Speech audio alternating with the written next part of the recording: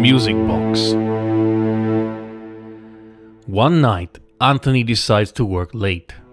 He wipes the music box with wood oil and talks to it as if it was a plant or human. He takes good care of it with pride and joy.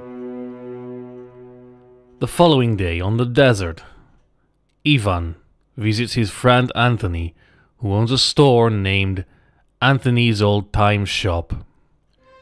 In the store, he hears music and asks his friend Anthony, Where is that beautiful music coming from? And his friend shows him the music box. The old music box has two buttons one to record and one to play, and it works well. Coincidentally, Marcy goes in and picks up her watch that needs a battery and was surprised to see Ivan.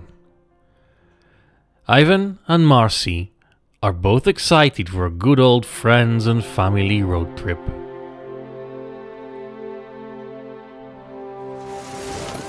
All friends, including Lily at four, Olivia at four, their parents, Lily's grandfather and grandmother Marcy were on limo van, which had collided with a truck due to a reckless drunk driver. Everybody was pronounced dead at the scene except for Lily, Marcy, and Olivia. Childhood friends Lily and Olivia became orphans at the age of four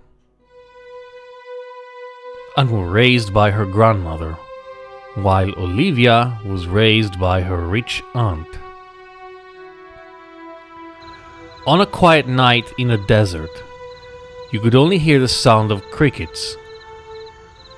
A female writer is working on her story when the doorbell rings, which makes her heart beat fast